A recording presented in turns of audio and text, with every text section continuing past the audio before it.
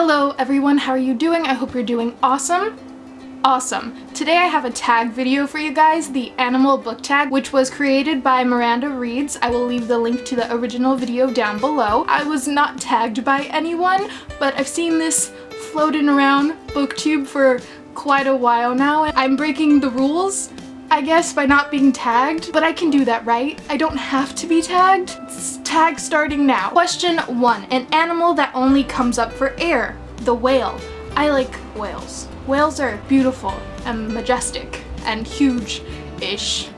Very huge. What is a book you only put down if you had to? In high school, there was a book that I read that kind of just consumed me and all I did was read this. It interrupted all of my social life during that time. I just didn't want to talk to anyone. And that is The Passage by Justin Cronin. It's a post-apocalyptic book about vampires and I've only read the first book. I have not read the second or the third. I took this with me to school every day into class and I remember getting in trouble in math class in science class, in all of my classes, even English class, because I would take this out and read this instead of, you know, paying attention to the actual class and doing the work. I did the work. I just kind of had this under the table and would read this and on lunch I would sit with friends and stuff but I would take this out and read this and when people tried to talk to me I would say no no no shush don't speak to me I'm reading. I only put this book down when my teachers said, Erika, stop reading. Two, Beautiful but Scary, The Lion.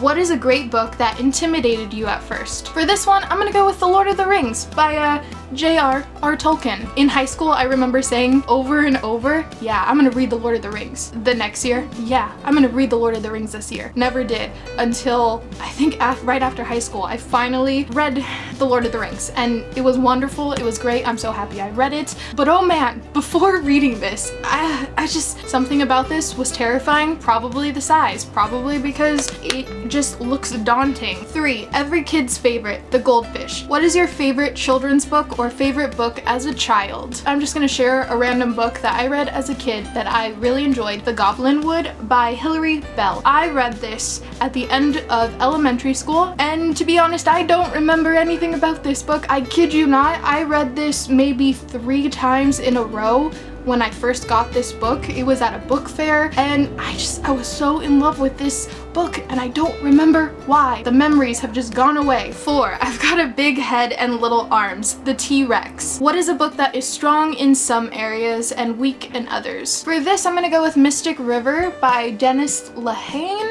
I think. Uh, anyway, this is the author of Shutter Island, which I still haven't read yet, but I, I do want to read that someday. Mystic River is probably the first thriller that I read as a kid and this book, it was good and I really enjoyed it and I also really enjoyed the film but the thing about this book was it left me feeling really underwhelmed. It was slow at parts and things felt a bit predictable at points. This is one of the books that helped me expand my reading and got me to branch out a bit. I would be interested in rereading it someday maybe and seeing what I think of it now but I don't know. Five.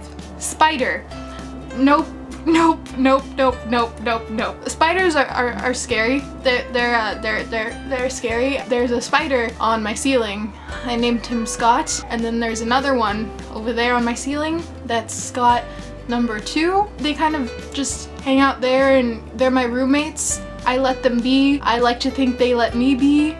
Um, yeah, a book you have no intention of going anywhere near. There are so many books I don't want to read. Anything by Sarah J Maas, Moss, all of those books, they just look ridiculous and I just, no. Anything by Nicholas Sparks, I've read A Walk to Remember and The Last Song. I don't want to read anymore. Number six, the animal that repeats others, the mockingbird. What is your favorite adaptation or retelling? I have two that I want to share. First, Peter and the Starcatchers by Dave Barry and Ridley Pearson. This is a retelling of Peter Pan. I've only read the first book and I do want to someday continue the series. It's really fun, it's really different. If you love Peter Pan, which I do so much, you would like this. And then I have Ripper by Stefan Petrucha. I butchered that, I just know it. This is a retelling-ish of Jack the Ripper. I like, I don't want to say I like serial killers, but I like reading about them and watching documentaries about them and movie adaptations about serial killers, that makes me sound so bad. This was a good retelling of Jack the Ripper. It was really fun. It was fast paced. I just, it, Mm, okay. Seven, The Laughing Hyena, a book that kept you laughing. Neil Patrick Harris's Choose Your Own Autobiography. This book was so much fun. I enjoy Neil Patrick Harris a lot. I'm a big fan of How I Met Your Mother, his character Barney Stinson. If you're someone that talks to me all the time, you often hear me say, high five, because Barney Stinson. And I was lucky enough to meet Neil Patrick Harris in person and give him a high five. High fives are awesome. This book's funny, also which was the question. Read it. 8. Mama Bear, a book with a fierce female character. For this one, I'm gonna go with Jackie from Bloody Jack by L.A. Meyer. This is a book about pirates. And our main character is a girl named Jackie and she, you know, dresses up as a boy to get onto this ship and go on this adventure. It's a lot of fun. It's a lot of fun. She's a great character. 9. The Horrible Hateful Cats.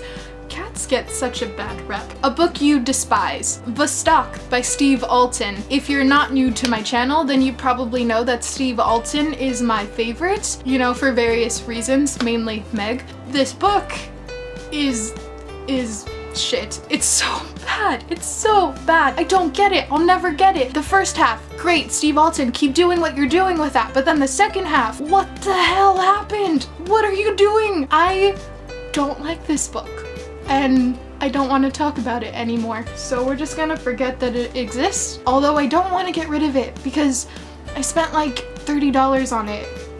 Damn it. 10. Man's Best Friend, The Dog. A book by someone you know. I almost didn't have an answer for this question, but then I realized, wait, hey, you have Operation Cure Boredom by Dan Martin from you know, Dan Martin likes you and you know him and he's funny and awesome and you guys should check out his book even though I haven't read it yet, but I will. I will. And that was the animal book tag. That was so much fun. I hope you had fun. I had fun. I'm gonna tag some people because that's what you do for tags, you, you tag people. First I'm gonna tag Shelby from Clever Fox. I'm also gonna tag Tash from Tash Talks Tonnes.